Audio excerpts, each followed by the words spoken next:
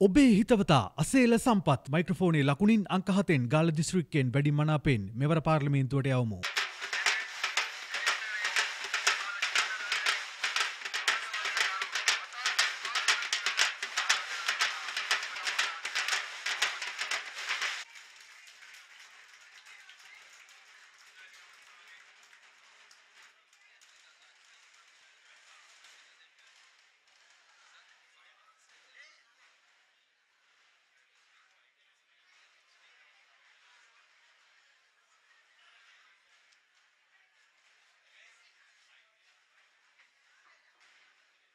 සංස්කෘත භාෂාව ගැන විශේෂ දැනුමක් තියෙනවා.